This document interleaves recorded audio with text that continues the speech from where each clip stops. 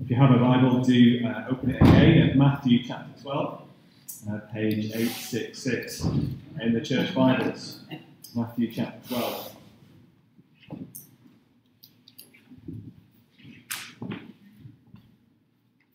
Uh, I was waiting and waiting before deciding on my opening illustration this morning, uh, but I have it now.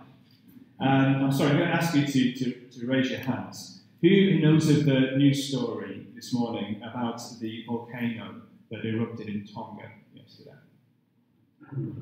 Uh, all right, if your hand remains down, could you describe what happened for me, please?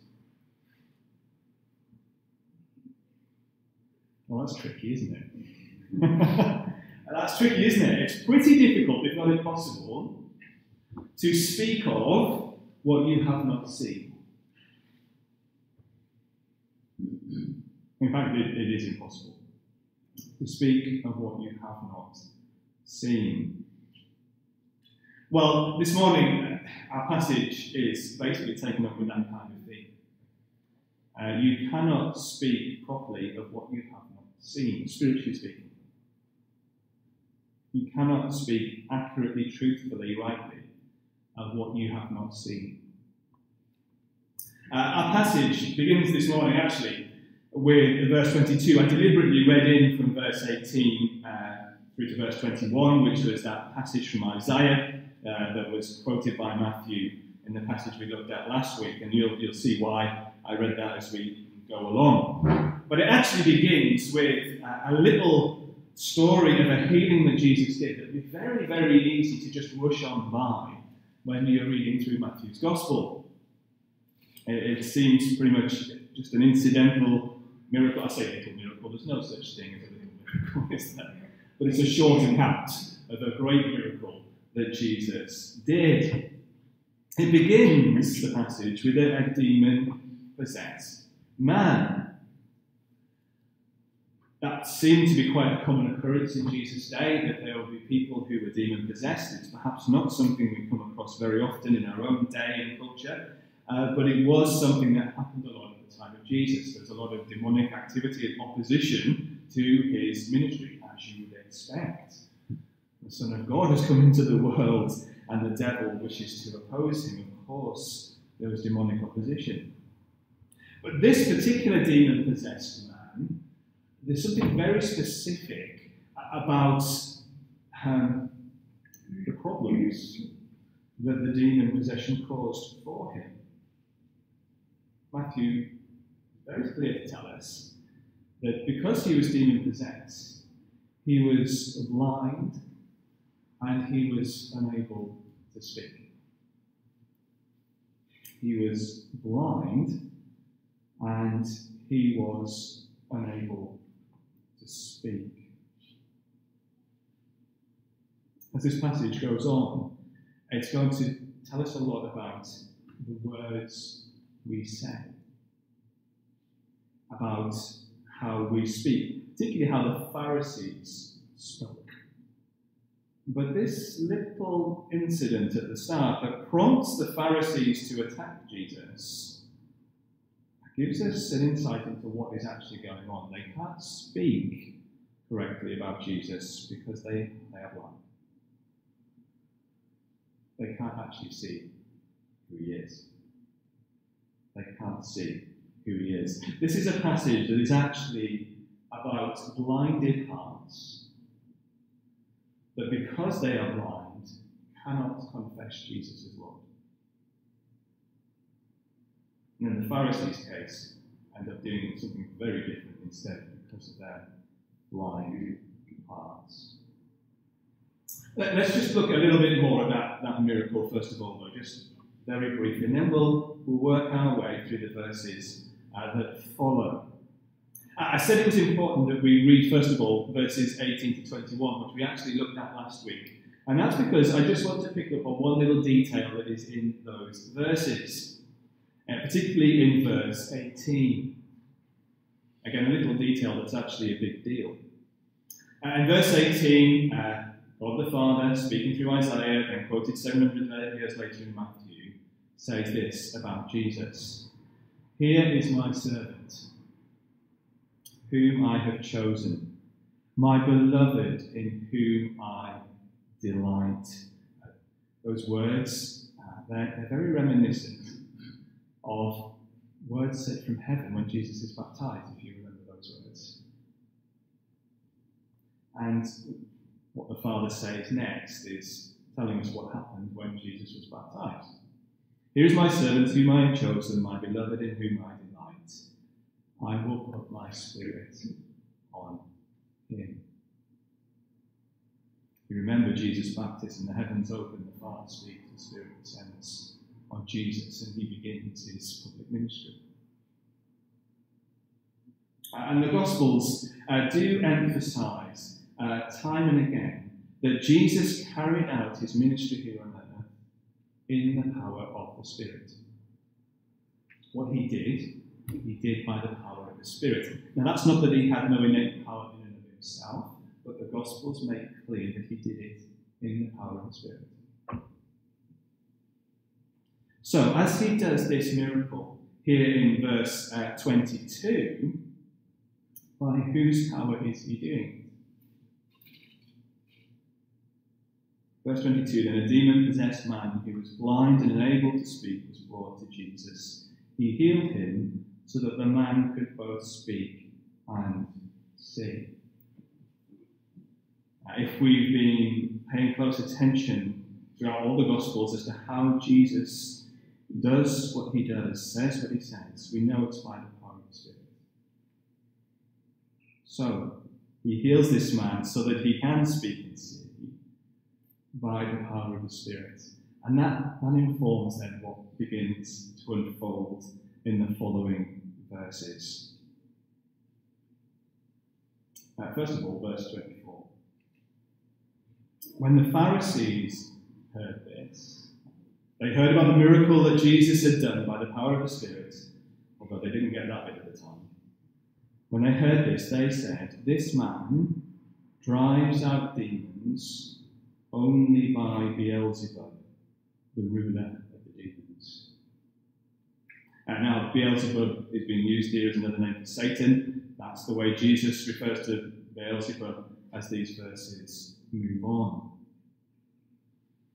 So, we'll get there, but perhaps you can see what the Pharisees, perhaps without realizing it, are actually saying when they say, He drives out demons by Satan,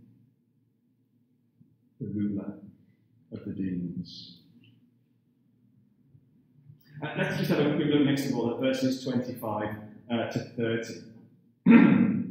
Jesus' big point in these verses is well, that just makes no sense, just at a common sense level, to say that I've done this by Satan.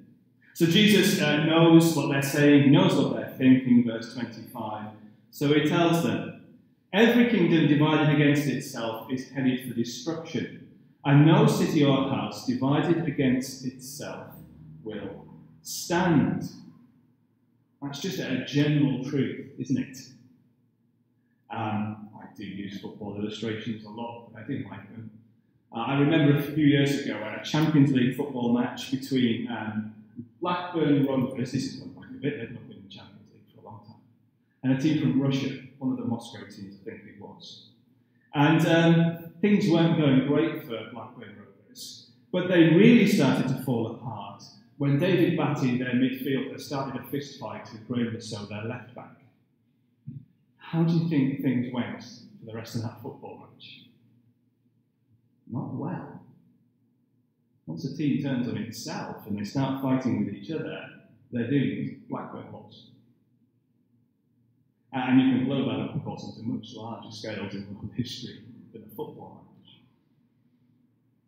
Every kingdom divided against itself is headed for destruction, and no city or house divided against itself will stand. So he draws his conclusion.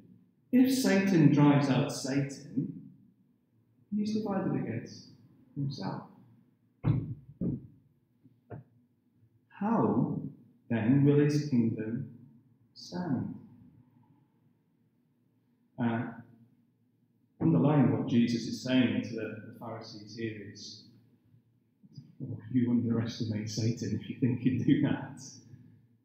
You, you must think he's not very clever, but he is. He would never do that. He wouldn't throw his own demons out of people. He wouldn't turn on himself. He's far wiser than that. This isn't being done by Satan. I'm not doing it by his power. Satan wouldn't do that. He knows he must remain united if he's to fight against God's kingdom. Verse 27 And if I drive out demons by Beelzebub, by whom do your sons drive them out? Uh, there were exorcists in that day amongst the Jewish people, uh, and, and Jesus is saying, Look, your own exorcists don't do it that way. What, what on earth makes you think I do? He said, They know that I don't. They will judge you. They will show you you're wrong if you ask them. For this reason, of verse 27, they will be your judges. No, that's, that's not what's happening, Jesus says. And he says uh, in the next verse, if I drive out demons by the Spirit of God, then the kingdom of God has come upon That's Jesus saying what we've already said about that miracle that happens and prompts the Pharisees to speak as they do. I do this by the Spirit of God. All that Jesus did, he did in the power of the Spirit, including this miracle where he makes a demon possessed man able to speak and see again. It's by the power of the Spirit. Um, incidentally, uh, this shows us that the battle that Jesus is engaged in is a, a spiritual battle. It wasn't just a, a physical one. Uh, we thought about that quite a bit last week, um, about how Jesus healed those who were sick. And he did. Physical sickness, um, what might we say today, normal sickness, if you want to describe it that way, is a result of the fall. It is one of the out, outcomes of sin that a cursed world suffers physically. But behind that, again, there is a spiritual battle. Of course, there is. And Jesus was engaged in a spiritual battle. He goes on in verse 29. How can someone enter a strong man's house and steal his possessions unless he first ties up the strong man? Now, who do you think the strong man is in these verses? It's not Jesus, of course. It's Satan. Uh, and Jesus here is, again, is already had a go at the Pharisees for underestimating Satan's intelligence and, wisdom, if you like. And now he's pointing out that Satan is indeed strong. And he is. Our spiritual enemy is strong. And this strong man, Jesus says, has a house with many possessions in it. What are those possessions? What are those possessions?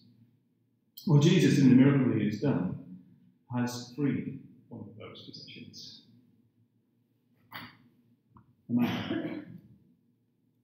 Satan's possessions are people. The Bible teaches us. And now that does not mean that every person who has not yet been set free by Jesus is demon possessed, at this man was. Uh, that's not what is meant. What is meant is, though, that everyone still belongs to him, unless they belong to Jesus.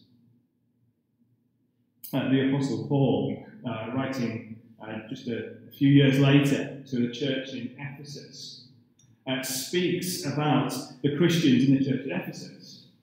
Uh, you can turn to it if you want. Uh, in the book of Ephesians and chapter 2. Ephesians and chapter 2. He's describing what the Ephesians had been saved from by Jesus Christ himself. Here's what he says at the start of chapter 2. And you were dead in your trespasses and sins, in which you previously lived according to the ways of this world, according to the ruler of the power of the air, the spirit now working in the disobedient. Who is that? That's the devil. And Jesus said, uh, Paul says to the church in Ephesus, you all once followed him, whether you knew it or not. Not necessarily possessed by him in the sense we normally think of that, but you belonged to him. You were his possession in that sense. Now, that sounds very strange to us?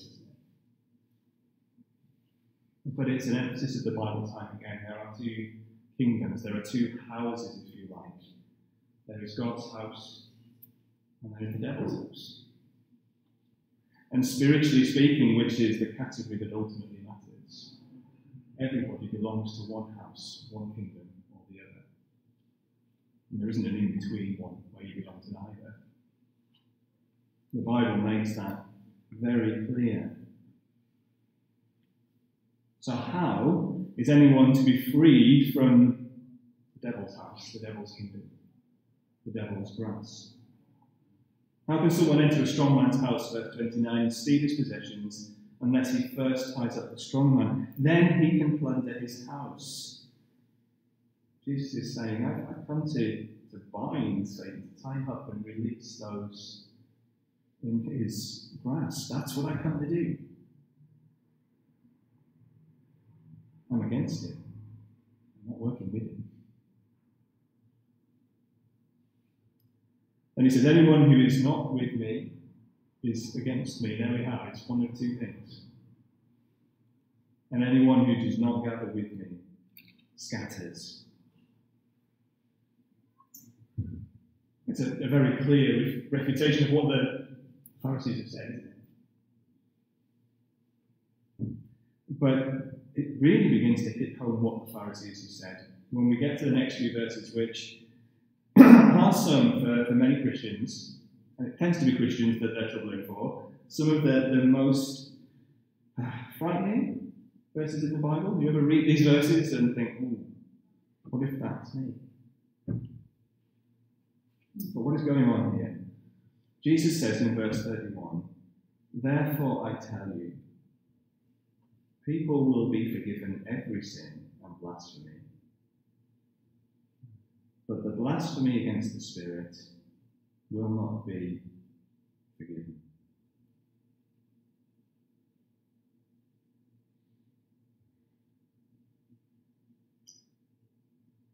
Why does Jesus start talking about blasphemy against the Spirit?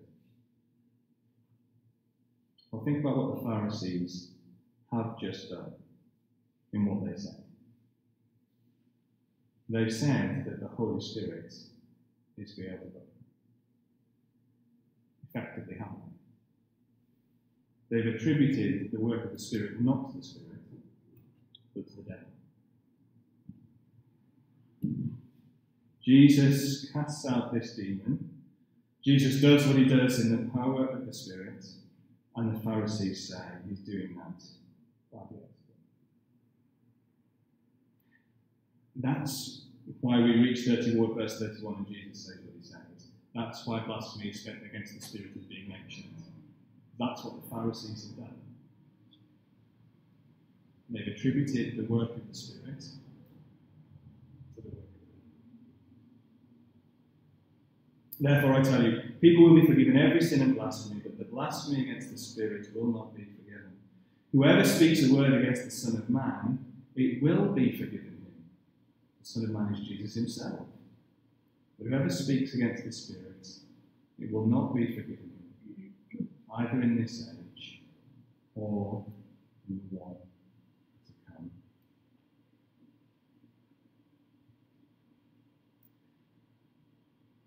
Does that scare you a bit? We're not used to speaking, aren't about the fact that Jesus forgives every sin Yet here's a suggestion that there's one sin that can't be. Blaspheming the Spirit. Just on the, the positive side of things for a moment. It, it is astounding that Jesus will say, every blasphemy will be forgiven. If you were to think of the worst sins there could be, blasphemy is, is at the top, pretty much. But Jesus says, every blasphemy will be forgiven. Obviously, there's this exception which we will look at in a minute, but every other blasphemy. That's wonderfully good news, actually. There are other religions in this world where that really, any blasphemy is death penalty, that's it, and have no way back. But it is forgivable by Jesus. Of course it. And any other sin you can think of, that matter, and that's good. I remember once, I think I shared this story before, a long time ago. I remember when I used to, to work um, for Job Centre Plus. I did work for Job Centre Plus one time. It's quite a few years ago now, and I would have people sit down in front of me who had, I'm sure, done some pretty terrible things. Some of them had just come out of prison and they were coming to claim their benefit. But I remember one sticks in my mind far more than anybody else. He must have been a man in his 60s. He just couldn't find a job. And he said, I don't normally tell people this, but this is why I can't find a job. I have a criminal record.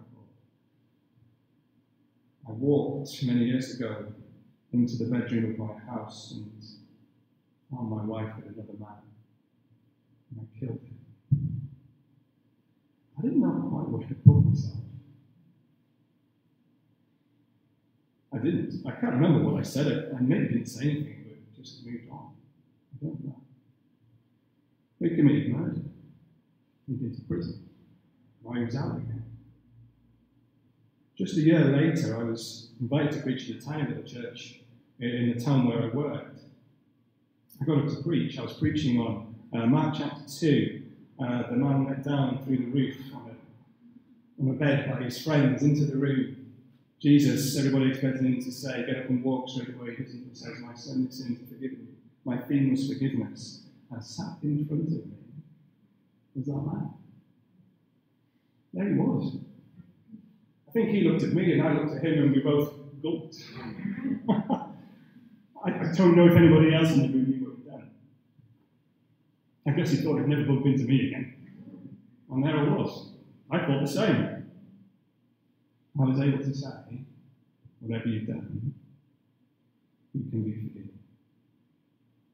Doesn't mean he shouldn't have served a prison sentence, it doesn't mean that. But it does mean he can be forgiven. He can know life eternal in God's kingdom. I, I, don't know whether that man ever came to saving faith. My prayer is he did. I've never bumped into him again since. But the gospel was for him, and it's for you. You can be forgiven any sin. And, and yet there is this here. Let's, let's keep going now to the next few verses. The next few verses, um, Jesus uh, talks about um, trees and the fruit that, that they bear. I was thinking of getting us to sing a song after the children's talk called Apples Don't Grow on Pear Trees. Uh, but I don't know, I, I sketched it. Okay, it's a children's song, uh, and many of you would have known it, and um, I didn't want to put that on us all. But um, here are the, lyrics. They go like this, and it, it helps to explain what Jesus says in these verses. Apples don't grow on pear trees. Apples don't grow on pear trees. Apples don't grow on pear trees. No apples there. It only grows pears. The next verse is very similar. Bananas don't grow on plum trees. Bananas don't grow on plum trees. Bananas don't grow on plum, plum trees. No bananas there. They only grow plums.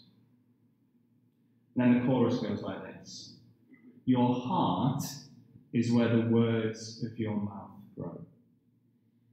Your heart is where the words of your mouth grow. Your mouth is where the thoughts of your heart go. Let me say it again. Your heart is where the words of your mouth grow. Your mouth is where the thoughts of your heart go. Jesus, change our hearts to bear, to bear good fruit. Uh, let me read Jesus' little parable. It's on the same thing.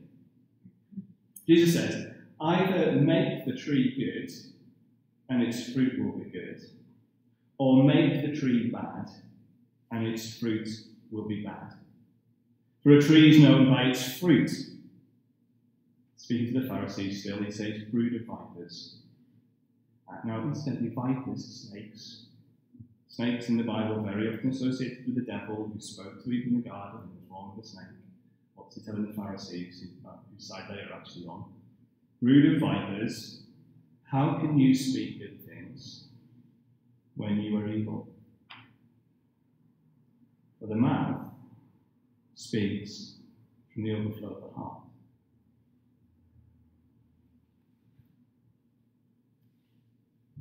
The mouth speaks from the overflow of the heart. Let's ask a question though. What if the heart is blind? Remember, that's the, the miracle that this all started off with. A man who was unable to speak, and here Jesus is telling him, You can't speak good out of a, a heart that isn't good. But, but what if the heart is blind? It cannot see. It won't speak good of Jesus if it can't see Jesus. Jesus goes on, a good person produces good things from the storeroom of good, and an evil person produces evil things from his storeroom of evil. I tell you that on the day of judgment, people will have to account for every careless word they speak. Well, they've spoken some pretty careless words, accusing the Holy Spirit of being the devil, haven't they? For by your words you will be acquitted, and by your words you will be condemned. The problem is, all of us have blind hearts. That's the problem. If the heart is blind, if the heart is diseased with blindness, it won't produce good fruit. It won't speak rightly of Jesus, of God, of the Spirit. What is the solution? I'm not sure this passage, I think this is deliberate, um, actually gives us the solution in full. It doesn't mean the Bible does. I, I believe the Bible does solve this for us. And I believe that that unforgivable sin that is spoken of, about blaspheming the Holy Spirit, is unforgivable for as long as it is committed. But it turns out the only one who can stop it from being committed is not you or I, it's the Holy Spirit. It's the Holy Spirit. Um, I would really love it if you turn to the next little passage we'll look at. It's uh, 2 Corinthians in chapter 3. 2 Corinthians chapter 3. Uh, that's on page 1024. Page 1024.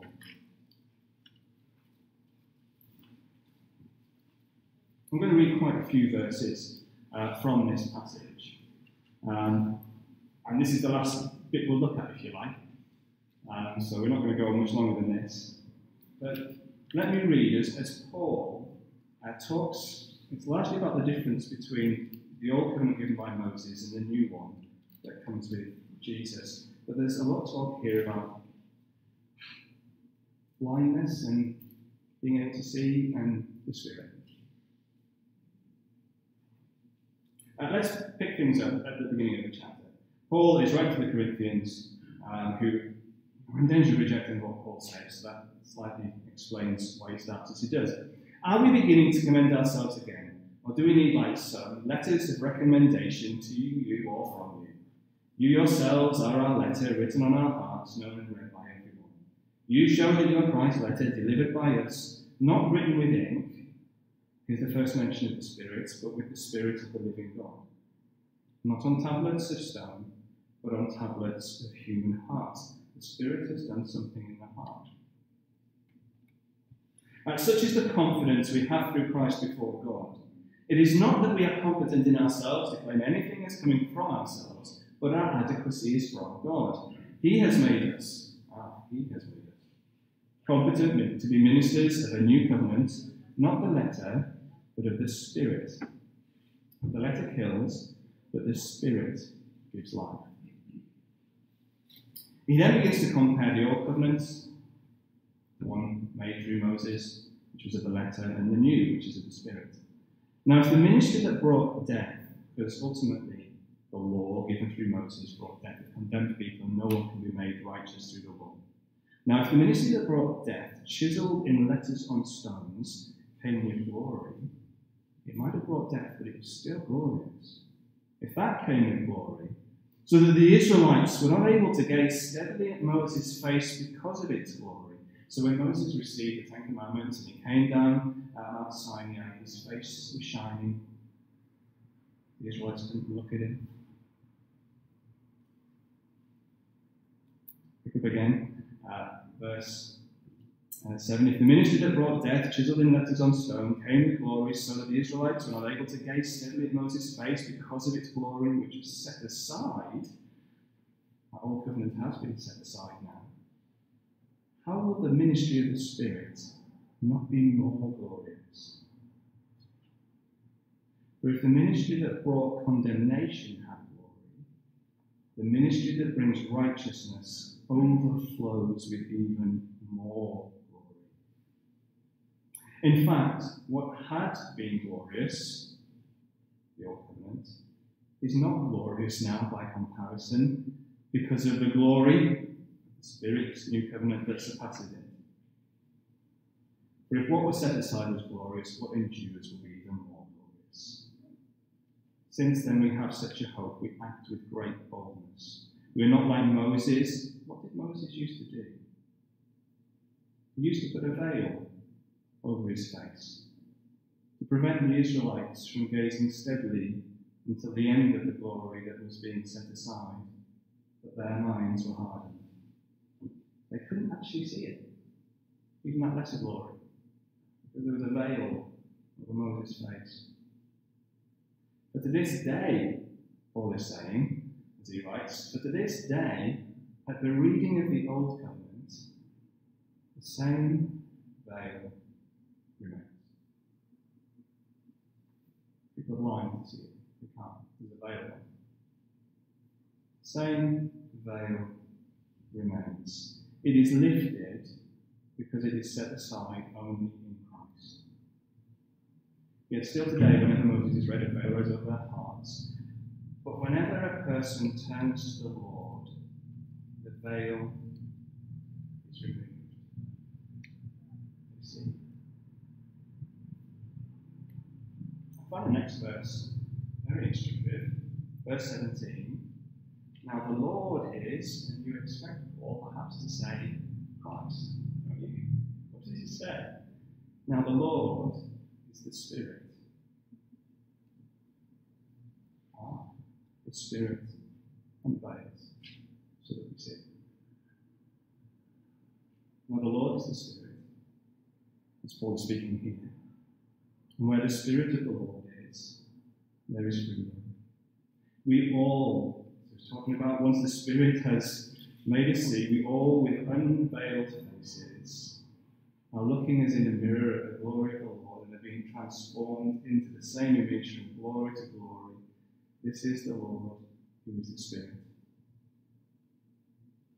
Chapter 4 Therefore, since we have this ministry, because we were shown mercy, we do not give up. Instead, we've renounced secret and shameful things, not acting deceitfully or distorting the word of God, but commending ourselves before God to everyone's conscience by open display of the truth. But if our gospel is veiled, if people can't see it, why is it veiled? Is veiled to those who are perishing. In their case, the God of this age has blinded the minds and in the Bible, minds and hearts are often virtually interchangeable. In this case, their case, the God of this age has blinded the minds of the unbelievers to keep them from seeing the light of the gospel of the glory of Christ, who is the image of God. You see it? That, tells us what's going on in Matthew's life, doesn't it? Uh, the God of this age, in verse 4 of 2 Corinthians 4, is the devil. and he has blinded people's minds and hearts. He blinded the minds and hearts of the Pharisees, such that they blasphemed the Holy Spirit. And that's, that's unforgivable. At least it's unforgivable for as long as it continues. Because for as long as it continues, you will not see Christ and you will not be forgiven. But the very one who is being blasphemed, the Spirit, because he's the one in whom Jesus changes people by his power he is the one who unveils in hearts. So they see.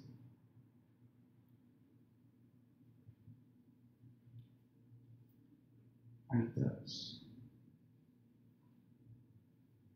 Everybody, until the Spirit works in their heart such that they see Jesus, has a blind heart. But we can't change our hearts. Interestingly, in verse 33, Jesus says, Either make a tree good and its fruit will be good, or make a tree bad and its fruit will be bad.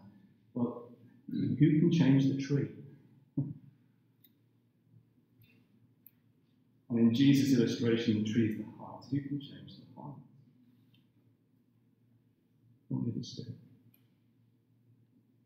And the moment he does, we see Jesus.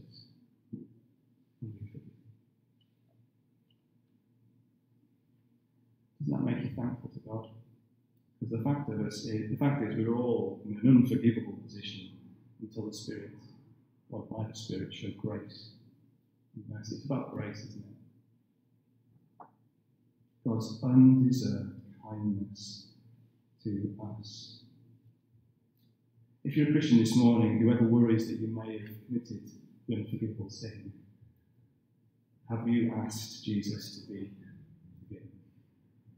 Because if you have, you wouldn't do that. You wouldn't see Jesus and come to him if the Spirit had not worked in your heart. You're not rejecting the Spirit as a work of the devil if you want forgiveness in Jesus. Please understand that if you ever worry about that.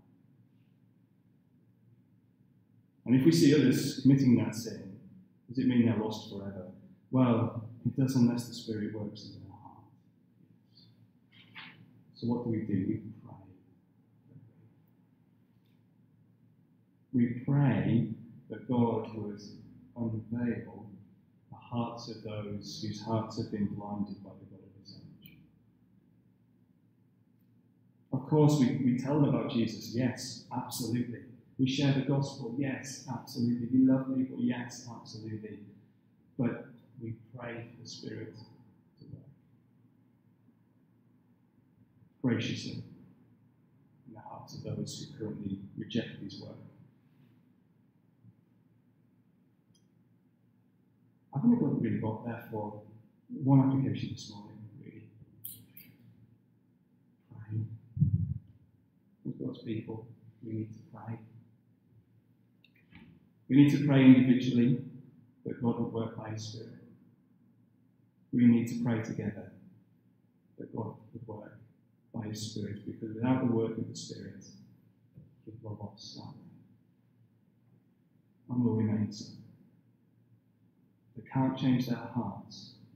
They can't get rid of their own blindness. The Spirit can. And we're living proof that He does. Let's pray that He would work through all our pointing to Jesus to bring others to sight. So that they speak of Jesus as Lord and Savior. Should we pray?